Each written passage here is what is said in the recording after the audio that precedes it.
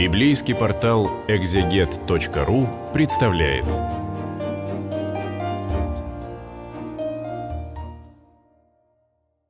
Здравствуйте, братья и сестры, все любящие чтение Слова Божия. Мы продолжаем с вами исследование книги Иова на библейском интернет-портале exeget.ru. И сегодня мы с вами рассмотрим восьмую главу.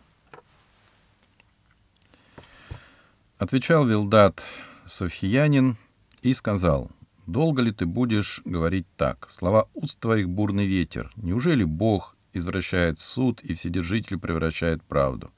Если сыновья твои согрешили перед Ним, то Он и предал их в руку беззакония их. Если ты взыщешь Бога и помолишься Вседержителю, и если ты чист и прав, то Он ныне же встанет над тобою и умиротворит жилище правды твоей. И если вначале у тебя было мало, то впоследствии будет весьма много. Ибо спроси у прежних родов и вникни в наблюдение отцов их.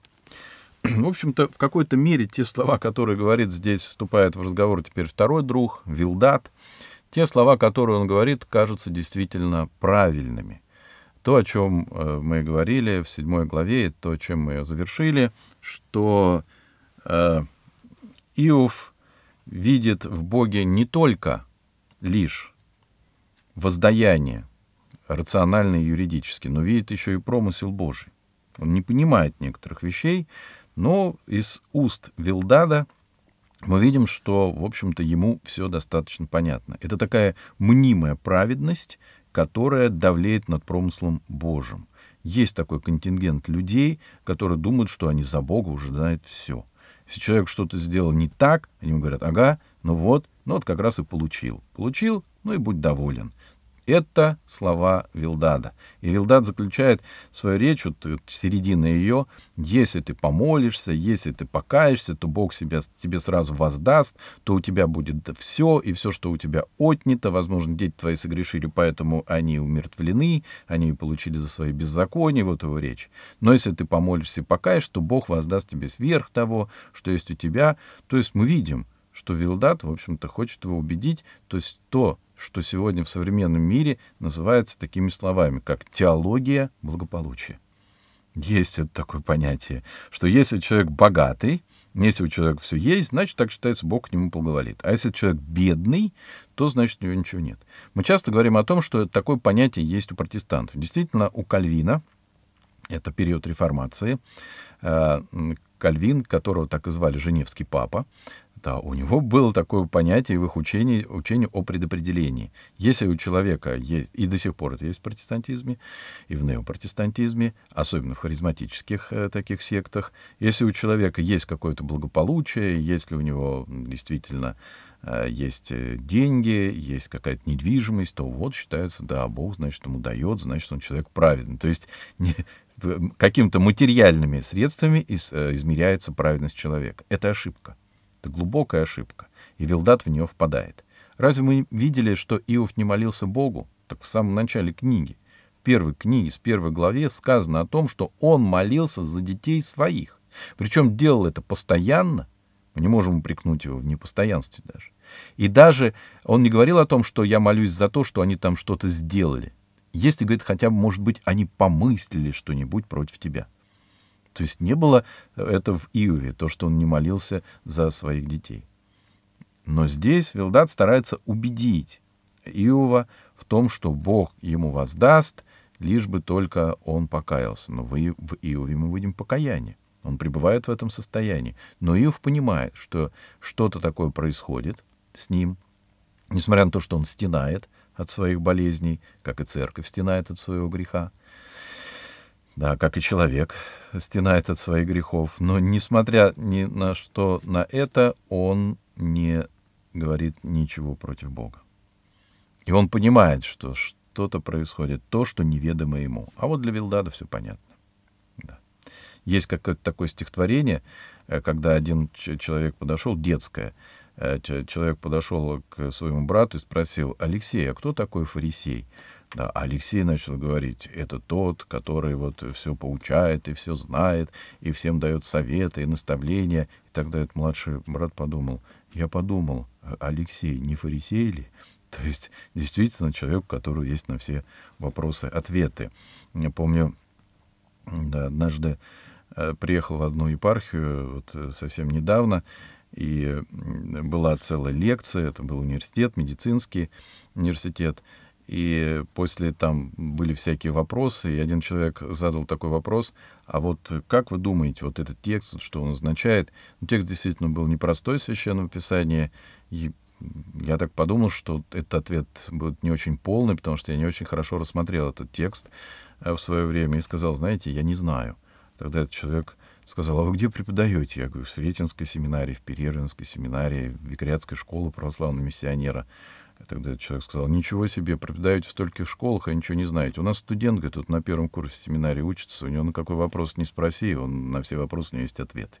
Ну, может быть, у студента первого курса есть ответы на все вопросы, как у Вилдада. Но я бы не стал рисковать, да, такой, давать ответы на все вопросы. Так пишет один из церковных писателей, как бы перефразируя слова Вилдада, он говорит, что «я советую тебе, — говорит его друг, — усердно молиться Богу, э, всему предпочитая это моление, если ты будешь поистине правдив и далек от притворства, он возвратит тебе жизнь и дни, подобающие праведнику, чтобы ты стал, благоденствовал, что прежние блага покажутся тебе незначительными. Заметь, как Э, также, что Вилдат полагает, что наслаждение благами этой жизни положено для праведников как благословение. Вот о чем мы с вами как раз и говорили. Итак, мы читаем далее.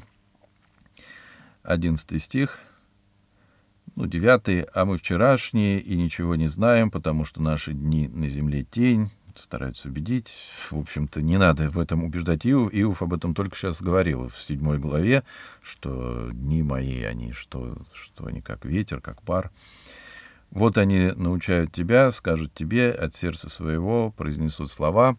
То есть он старается убедить Иова в том, в общем-то, что он понимает. Иногда такое бывает, и снова повторю, в нашей жизни мы говорим, что ну да, это действительно так, но человек как будто не слышит, он нам продолжает говорить и наставлять нас. Ну вот это особый тип вилдадов такой современной жизни. Да. И поднимается ли, 11 стих, тростник без влаги, растет ли камыш без воды, еще он в свежести своей и не срезан, а прежде всякого травы засыхает, таковы пути всех забывающих Бога, и надежда лицемера погибнет. Ну, Вилдат действительно прав, что, что и действительно все мы имеем основания в Господе. Если мы оторвемся от Господа как от источника жизни, как тростник, он говорит, отрывается от своего корня, конечно, это не принесет нам никакой пользы, человек впадет только в самомнение, а самомнение повлечет за собой лицемерие. Упование его подсчитано, и усердность его дом, уверенность его дом паука. Действительно такой интересный образ, как нельзя опереться на паутину, хотя для кого-то это дом, так и для невозможно опереться на какую-то некую пустоту. То, о чем сказано в Евангелии, кто строит дом свой на песке, на каких-то ложных, таких человеческих предположениях и мнениях, подует ветер, и дом тот рухнет. А кто строит на камне, то есть на Христе, на заповедях Его, чтобы не, не были бы какие перемены в жизни, внешней жизни человека, э, какие бы ни постигли человека скорби и гонения, ничто не может, как говорит апостол Павел, отлучить нас от любви Божией. Итак, мы видим далее Зеленеет ли он перед солнцем, действительно, если оторвется тростник от корня. Э, перед солнцем засад простираются ветви его, в кучу камней вплетаются корни его, между камнями врезываются. То, как вырвут его с места его, оно откажется от него, я не ведала тебя. Очень интересные, кстати, образы предлагает здесь Вилдат, и с ним не, трудно не согласиться. Нельзя сказать, что в его словах нет правды. Э, действительно, есть и правда. Как в любом заблуждении, есть часть правды, потому что нет абсолютной лжи, потому что дьявол не бытиен, потому что даже в любой ереси, ересь так переводится, как полуправда.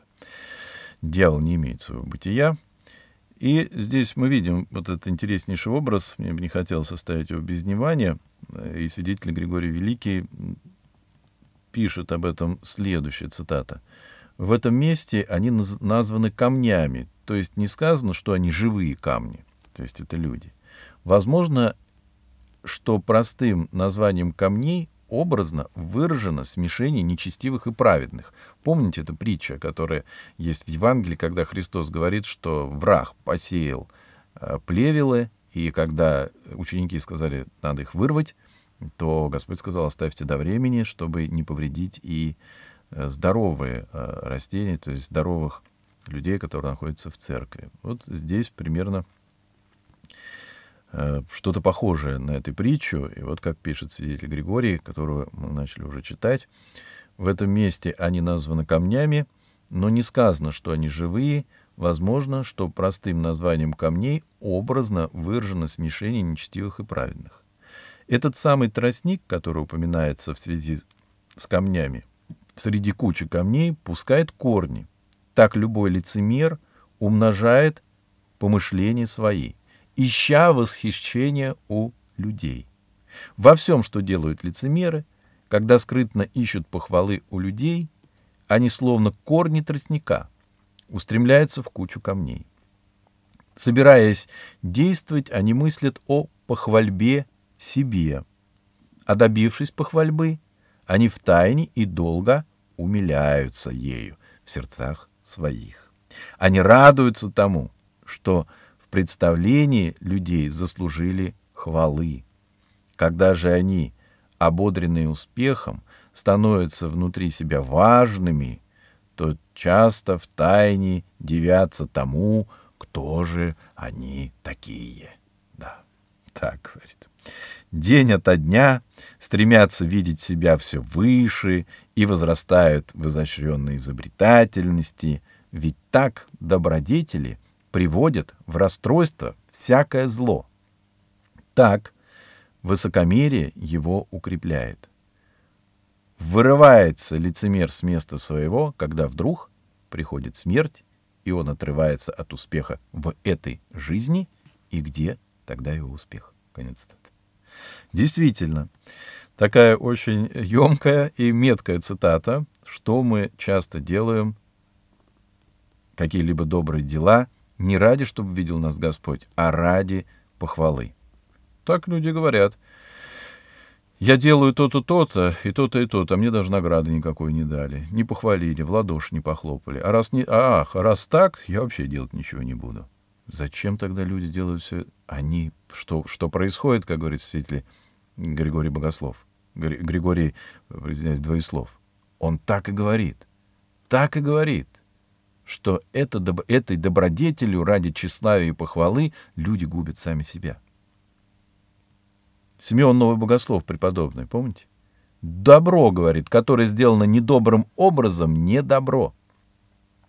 Добро, которое сделано недобрым образом, не добро. То есть оно губит человека, если человек делает все ради тщеславия. Вот как об этом пишет, например, митрополит Амфилохий Радович цитата, «Жизнь церкви, а церковь — это тело Бога-человека Христа, длится уже многие века силой присутствия Святого Духа и почивает на одной неизменной истине. И эта истина гласит, «Добро, которое сделано недобрым образом, не добро», преподобный Симеон Новый Богослов. Вот главный принцип церковной жизни, принцип и неизменная позиция ее исторической миссии. С одной стороны, для всякого разумного существа очевидно, без познания истины и добра человек не может стать воистину человеком. Но с другой, просто познавать истину и добро недостаточно. Истина и добро должны быть переплетены в повседневную жизнь человека, личную и общественную.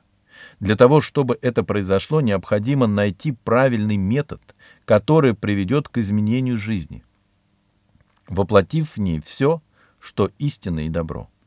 Только в правильном отношении к истине она дарует свободу.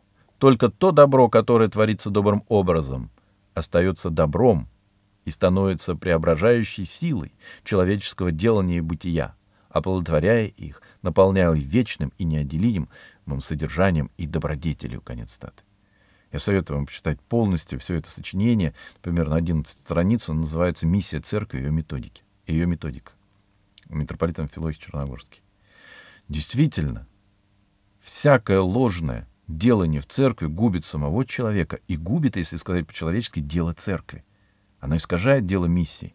Поэтому не надо иногда удивляться, почему у нас дело миссии — это какое-то некое такое топтание на месте. Вроде что-то хотим, но ничего. Подумаем, ради чего мы все это делаем. Итак, действительно, далее продолжает Вилдат свою речь, 19 стих. «Вот радость пути его, а из земли вырастают другие. Видишь, Бог не отвергает непорочного и не поддержит руки злодеев. Он еще наполнит смехом уста свои, губы твои радостным восклицанием. Ненавидящие тебя облекутся в стыд, и шатра нечестивых не станет. Действительно, с этим никто не будет спорить. Те слова, которые он говорит Иова, в них есть и доля правды. Первая его часть мы видим, что не совсем. Он здесь проповедовал Вилдат теологию обогащения. Но во второй части, в общем-то, есть полезные советы. Снова хочется зачитать Григория э, Великого о радости праведных. Вот как он пишет, цитата. «Когда избранные исполнятся радостью, полноты видения, они внутренне озаряются улыбкой радости. Восторгом же называют такое состояние, когда в сердце принимает такую радость, что слова бессильны ее выразить. Но восторг умеет выразить себя таким голосом, которого не знает речь. Верно говорят, что уста наполняются смехом и губы радостным восклицанием. Потому что в отчизне вечности, куда сердце праведника восхищается, язык начинает петь песнь хвалы.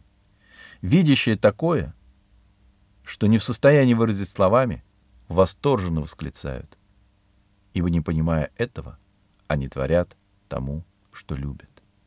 Действительно, глаголы неизреченные когда есть радость на сердце. При последнем суде, продолжает Григорий Двоеслов, при последнем суде враги праведных облекутся в стыд, как говорит здесь в речах Вилдада.